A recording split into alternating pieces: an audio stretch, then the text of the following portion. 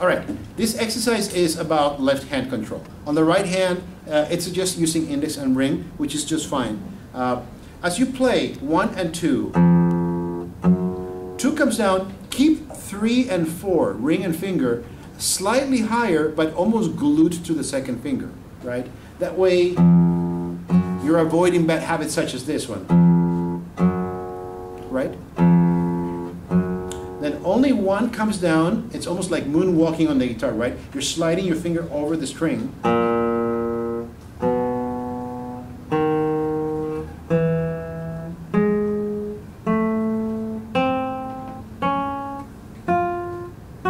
Then you come back up.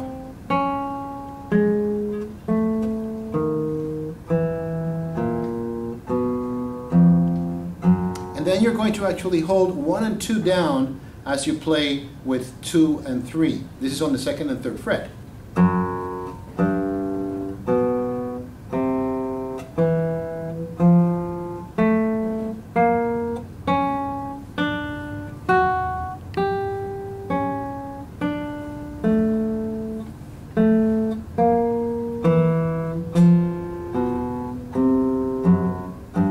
And then one, two, and three are playing together with Pinky on the third and fourth frets.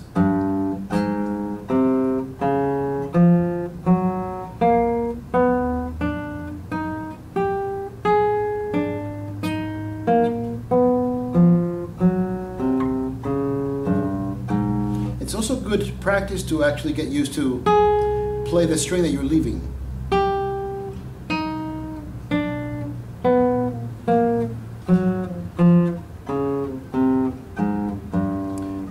This is going is a very simple exercise. One, two, three, four, right? Once you get those stages first, then one moves down, two, three, and four stay where they are. Then two, and three, and four.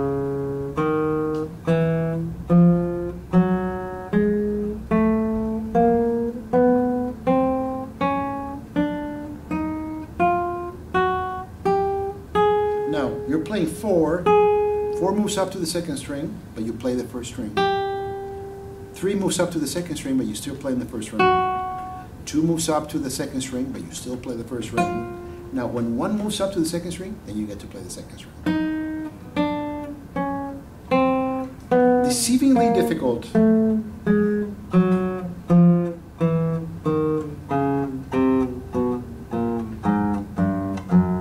you move fret by fret.